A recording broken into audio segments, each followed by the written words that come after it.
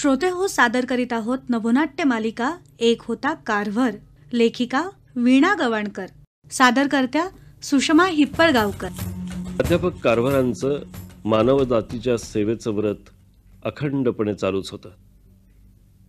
कोणतीही उपेक्षा वा अवहेलना त्यांच्या मार्गात अडथळे आणू शकली नाही. कोणतंही आमिष त्यांना त्यांच्या कर्मभूमीपासून दूर नेऊ शकलं नाही. पैसा हे केवळ विनिमयाचं साधन ते साध्य नव्हे हे तत्व आयुष्यभर जोपासणाऱ्या कारभारांनी अनेक विद्यार्थी घडवले. प्राध्यापक कारभारांची कीर्ती देशोदेशी पोचूनही त्यांचा साधेपणा विनम्र वृत्ती यात बदल झाला नाही. त्यांनी पंचाहत्तरी ओलांडली होती. आयुष्याच्या या टप्प्यातही ते कसे जगत होते ते पाहूया या भागात.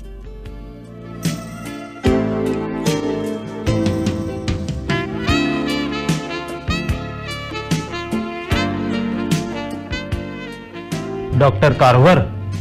आवडली का हिऱ्याची अंगठी?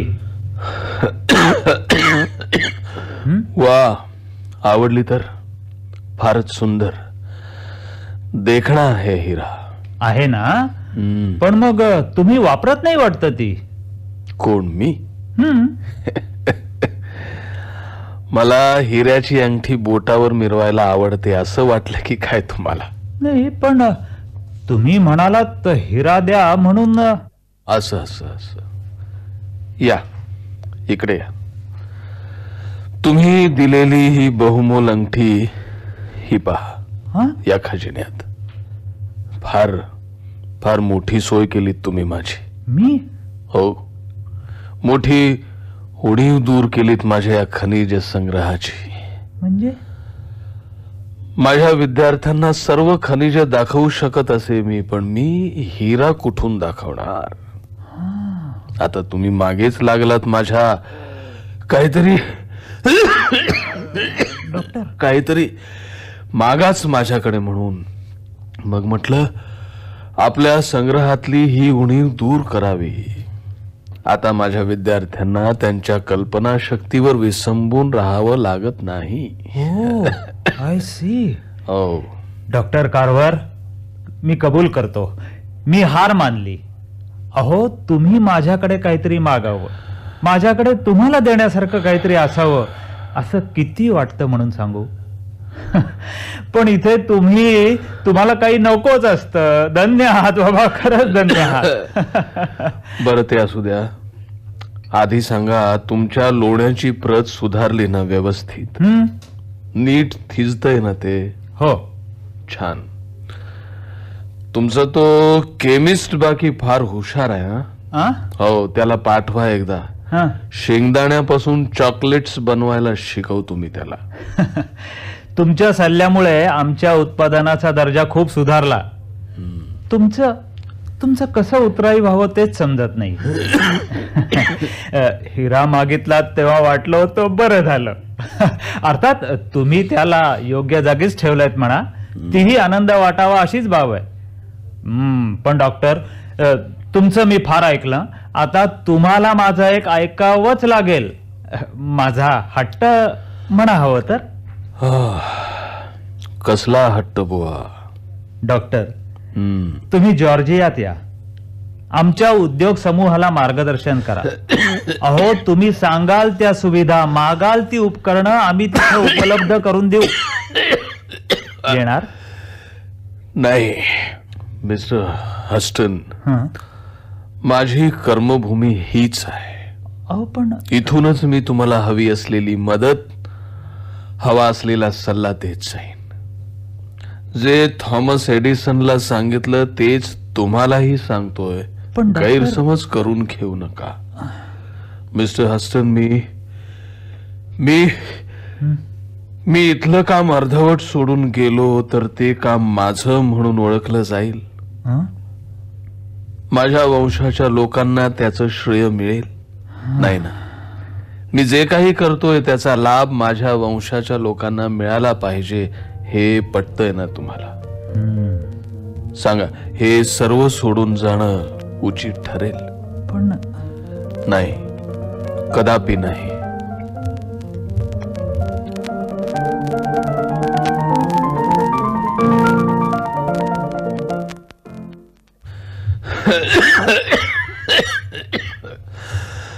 शाबास शाबास ऑस्टिन कर्टिस शाबास. माझा माझा वारसा चालवणार तर तू. वा बेटा वा. धन्यवाद सर. मॅग्नोलियाच्या बियांपासून छान रंग तयार केलेस तू. आपण आपण यांना काय नाव देऊया बरं? हम्म. Curtis Browns. काय छान आहे. Curtis Browns.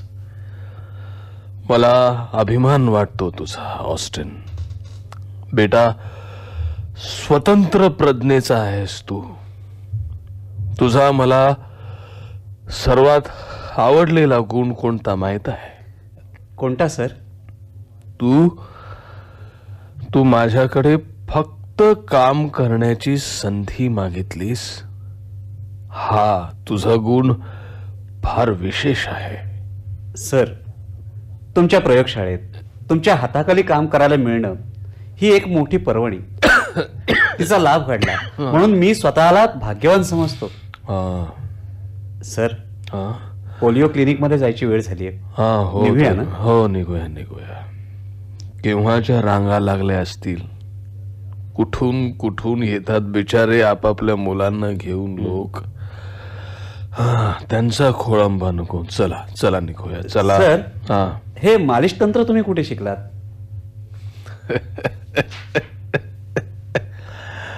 मी कुठे शिकलो?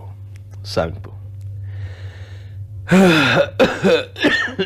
मी कॉलेजमध्ये शिकत असताना एका बेसबॉल पटू मित्राचा पाय मुरगळला.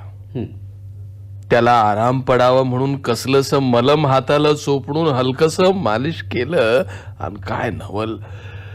त्या त्या मुलाला चांगलाच आराम पडला. झालं दुसऱ्या दिवसापासून माझी नेमणूक बेसबॉल संघाचा मालिशवाला म्हणून झाली. ते ते हस्तकौशल्य आजही उपयोगी पडतंय बघा. आणि आपल्या शेंगदाणा तेलाचा गुणही.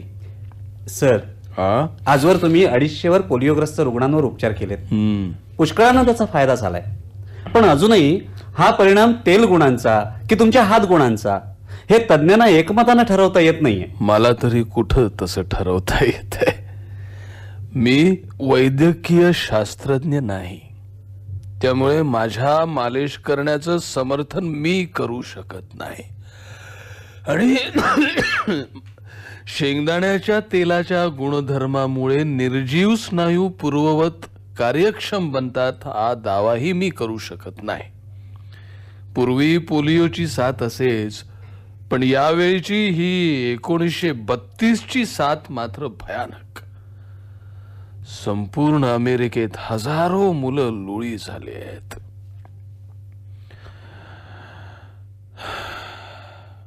पोलिओग्रस्त निग्रो बालकांची रुग्णालयात कुठंही वर्णी लागत नाही. आणि म्हणूनच हे केंद्र सुरू करावं लागलं बाबा. पण आता काळ्याच काय पण गोऱ्या बालकांवरही इलाज करू शकतो. मालिश करून त्यांची सेवा करू शकतो. हे टसकगीच्या दृष्टीनं फार चांगलंच झालं नाही का? खरे क्लिनिकमध्ये गोरेनी काळे एकाच रांगेत उभे असतात. हा. हे केवळ तुमच्याच हातगुणामुळे बरं का सर? चला चला गप्पा पुरे. चला.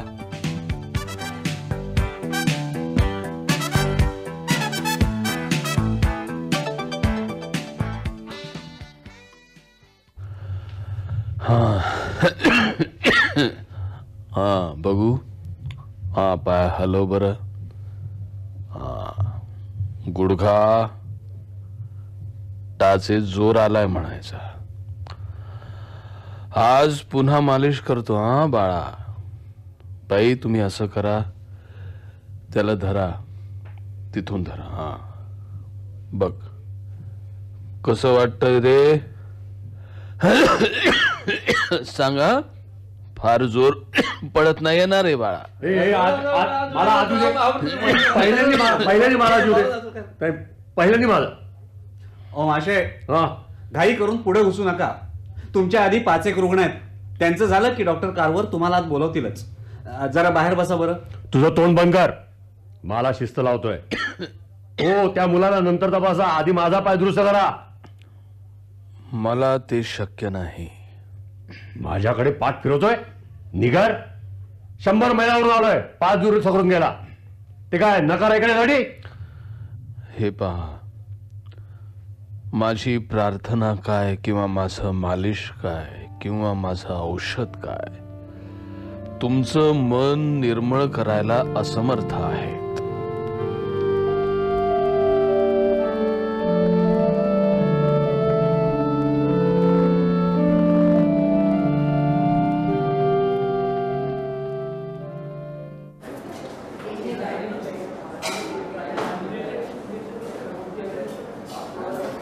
तर मित्र हो. गेली सलग चाळीस वर्ष डॉक्टर कारवर असे अविरत प्रयत्न करत आहेत. चैनीकडे तर सोडाच. पण दैनंदिन गरजांकडेही पाठ फिरवून त्यांनी या संस्थेत आडबाजूच्या या शाळेत स्वतःचं आयुष्य झोकून दिलंय.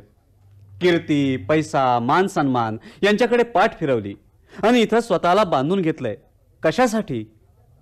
या प्रदेशाचा इथल्या समाजाचा कायापालट घडवून शाश्वत विकासाचा मार्ग दाखवण्यासाठी. आज इथल्या सामान्य माणसाचं शेतकऱ्याचं जीवनमान उंचावलंय ते डॉक्टर कारवर यांच्या डोळस प्रयत्नांमुळे. त्यांची योग्य दखल घेणार की नाही? पण ऑस्टिन कर्टेस डॉक्टर कारवर आम्हा पत्रकारांना टाळतात मुलाखत द्यायची नाकारतात. म्हणजे का करतात ते असं? आठवत नसेल तर सांगतो. मागे एकदा एका व्याख्यानात ते म्हणाले होते की माझ्या प्रयोगशाळेत पुस्तकं नसतात. ज्यावेळी काही नवीन जन्माला घालायची आवश्यकता असते तेव्हा मला कल्पना आपोआप सुचतात. काय करावं ते आतून मला कळतं. असंच म्हणाले होते ना? त्यांच्या या विधानावर काही वृत्तपत्रांनी काहूर उठवलं. डॉक्टर कारवर यांचं हे विधान त्यांच्यातील वैज्ञानिक वृत्तीचा अभाव दर्शवतं.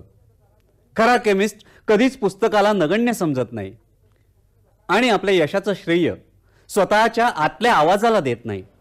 अशी एका अग्रलेखातून टीकाही झाली. डॉक्टर कारवर त्यामुळे व्यथित झाले. अहो अहो माझ्या प्रयोगशाळेत पुस्तकं नसतात असं ते म्हणतात. याचा अर्थ काय लावायचा? म्हणजे पुस्तकांचा काहीच उपयोग नाही असं म्हणायचंय का त्यांना? हो ना.